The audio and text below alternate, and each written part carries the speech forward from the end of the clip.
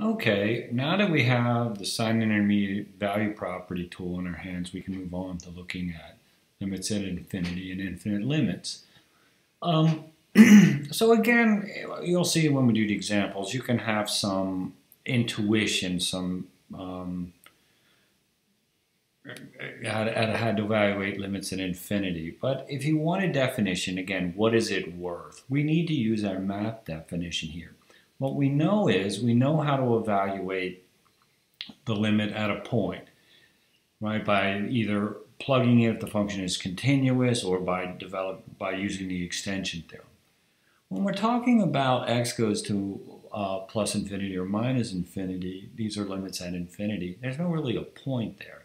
So the question is, how do we, again, reconfigure the problem? How do we change the format of the problem so we can use the tools we have. That, that's the issue. Again, we don't want to reinvent the wheel. Um, how can I use what we have in this situation? Well, just think about it. If the variable is x, the function f of x, and x goes to infinity, that's a big problem. So x is 10, 100, 1,000. So how can I reconfigure the problem so that I can use the tools that we have? And the argument is say y equals 1 over x, or x equals 1 over y. And if y equals 1 over x and x goes to infinity, then y, of course, goes to 0. So just by changing the variable, right, changing the function, changing the variable in this manner, we can use the tools we already have. This is clever stuff. This is, again, such a simple, relatively easy way to do this. Um, and that's how and we can proceed. Again, you see, it's not all about brute force. Most of the stuff we do, I mean, you get hung up in the algebra maybe, but most of the stuff we do is straightforward. It's it's really, if you could think about it, it's it's it's a good idea. So instead, if we were trying to evaluate x goes to infinity, we'll just look at this limit, and that's what we're going to do in this example. So here's an example. Again, I specify a function here. Specify a function and I want to evaluate um, this term. Now again, I don't want to get into, my high school teacher told me you just look at the three and the five. Okay, fine. In this one simple example, we all know the answer. Let's go through it and see how the math actually works, okay? Let's, let's look at this.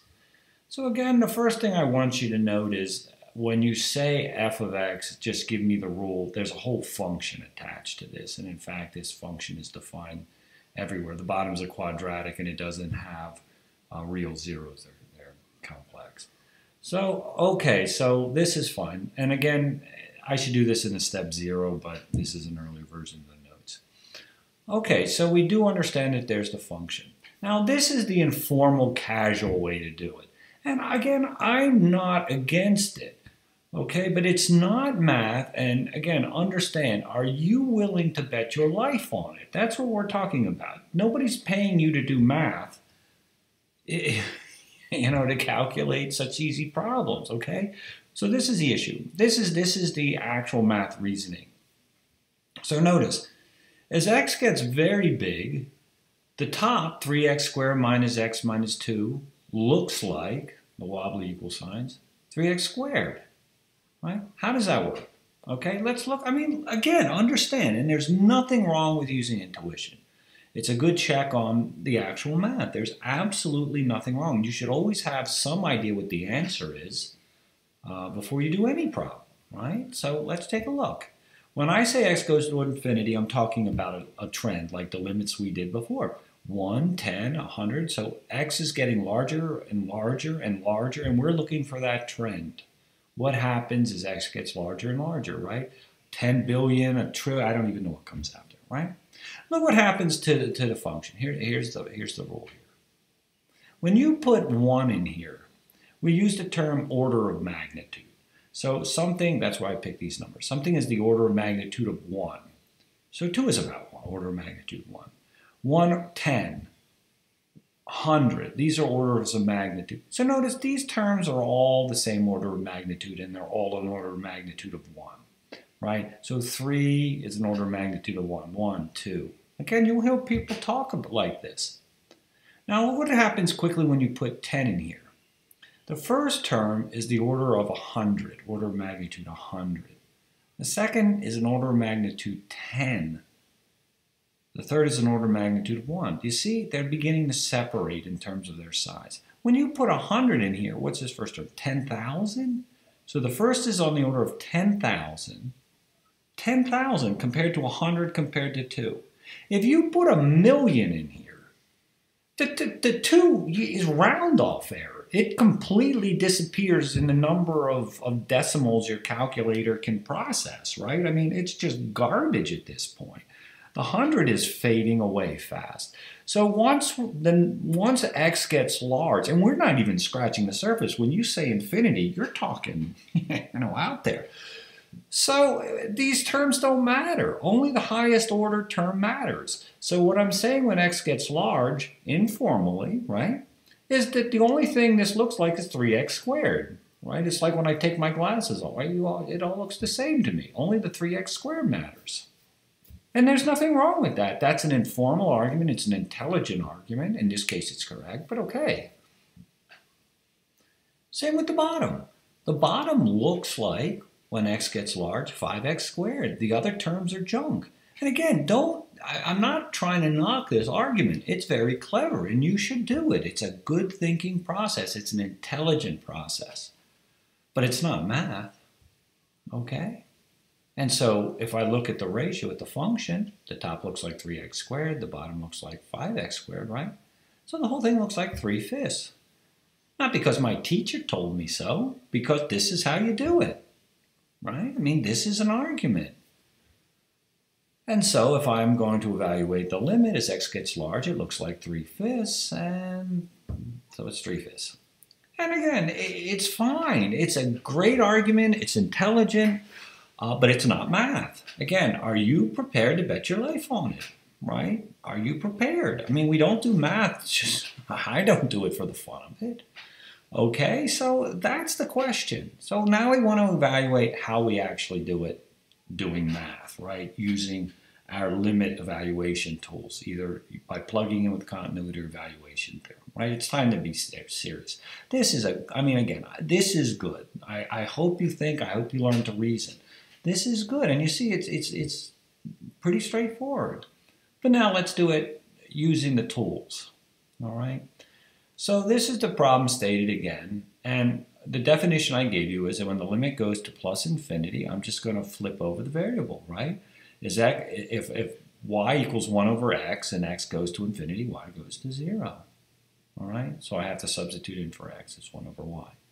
Okay, so we need to calculate what f of 1 over y is, right? So I'm, I, I just, I don't like, I mean, in the definition, it's fine because it, it shows you intuitively what happens, but I like functions of the variable. I don't like functions of 1 over the variable. I mean, it, it's, it's the, okay, it's, you could say it's my hang up, but I, I prefer it, so I'm just going to call it with a, with a tilde over it, just, you know, just again.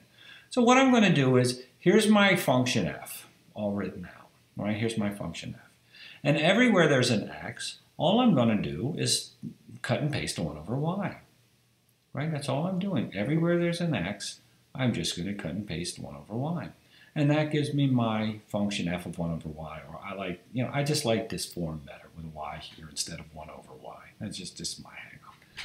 Okay, so that's what I prefer. Notice, this cannot be defined at 0 zero corresponds, y equals zero corresponds to x equals infinity. It's not a point. So this is not defined at zero by, by 1 over y. Clearly this is not defined at zero. And you see, we're going to need the limit evaluated at zero. So our only tool is going to be extension theorem. Right? But we'll, we'll come back to that later. So this is the rule I'm given. Right? This is the rule I'm, going, I'm given. So to find a simplification of this rule, okay, we have to do algebra. And what I did was I multiplied the top and the bottom by y squared, and you get this. Now this one, so this is this is nicer to look at than that. But more than that, again, they're algebraic exactly equivalent as long as y is not zero. But the advantage of this is it is defined at y equals zero, so I can use this, this term here as my extension. And, that, and that's the value of it. And again, it was a straightforward process. I simply replaced the x by 1 over y and cleaned it up. Okay? And so we're going to go through the exact same process. Is the limit point 0 in the domain? No. Is that point continuous at a equals 0? Well, again, no, that's it's not. That's what we have. So we're left to use, the, we have to evaluate the limit using the evaluation theorem. We don't have another tool. Again, I want you to understand, I, we don't have another tool. There's no point thinking about it. What's the extension going to be? Well, take the same rule, only extend the domain. Right? Take the same rule, but I just extend the domain. I mean, that's that's good. So again, you want to make sure that you're using the extension theorem um, correctly. The rules match up, right? They're exactly the same. And I really only need y greater than 0 because we're going to uh, 0 from the positive side, from above. And our function here is a rational function, right? Defined, defined at 0. So it's point continuous at 0, right? So you're good to go. You just use the extension theorem Again, we, we use the definition. If I want the definition as x goes to plus infinity, I take y goes to plus to 0 plus. Again, this is very clever, very simple idea. And then we'll just evaluate that. I've called that function f tilde. Just because, again, I, I prefer it like this because you can plug in easier. I just think this looks clumsy. And so, okay, I've just cleaned it up again by the extension theorem, right? I can go like the two limits are the same, but the, the extension is continuous, so I can plug in, and then I just evaluate it, right? I just evaluate it. And so I get 3 fifths, which is what I, what I obtained earlier from the intuitive approach. So again, it's not bad to have an intuitive approach. There's, there's nothing wrong. I think that's great. Um, but if you want to actually know the math, um, this is what you want to do. And again, this is very clever, very elegant. You just simply, instead of x going to infinity, y equals 1 over x, and look at y goes to 0. So, I mean, that's, that's pretty good. Um, a horizontal asymptote, and we'll talk about this um, in, a, in a little bit, is the line y equals the limit. Yeah, the limit has to exist and equals a number. y equals that number is called the horizontal asymptote. Um, Okay, so the same example, determine the horizontal asymptote. Well, previously we found the limit is 3 fifths, so by definition the asymptote is 3y equals 3 fifths. Okay, so that's the idea. I mean, again, it's it's interesting stuff. What does a horizontal asymptote tell you? Look at this picture. Look at this picture. Now, again, you have to understand how calculus really works. Now, I have it drawn between minus 10 to 10 because I wanted to get some something going on in here. But if you zoom out, if you zoom this out, suppose you're working at a calculation around, let's say, x equals 100. Why am I going to work with this crazy definition of a function? If I'm out with x equals 100, it's 3 fifths. Just take the function to be 3 fifths. I mean, why go to the bother? Yes, will there be some error? Yes, but I mean, how accurate do you need? Eight decimal points of accuracy, 50 decimal points of accuracy. Fight smarter, not harder. So what an asymptote tells you is the behavior of the function far away in the far field. I'm not exactly sure where the word asymptote comes from. I think it's an ancient Greek or Latin. I think it means like you're standing in the crow's nest looking out towards the horizon, right? So you're looking out into the distance. You're looking for something out far away. So eh, that's what you have.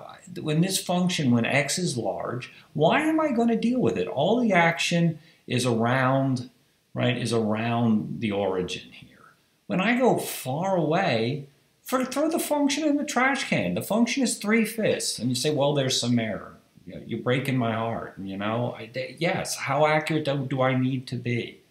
So that's the argument we're going to make, right? Again, I just did minus 10 to 10 just to show you where the action was. But when we're talking about asymptote, you're talking about x equals 10, x equals 100, x equals 1,000, a million, a billion, right? You're not always working right here, Okay, so that's what the asymptote tells you, how the function behaves, what it looks like when you're when you're far away. And that, I mean that's useful information. And it'll pop up again when we do graphing um, later in the semester. So again, I'm not going to test you on this, but it's going to pop up later in the semester. But again, it, it's good to practice this to get, get a feel for the technique and understand what's going on.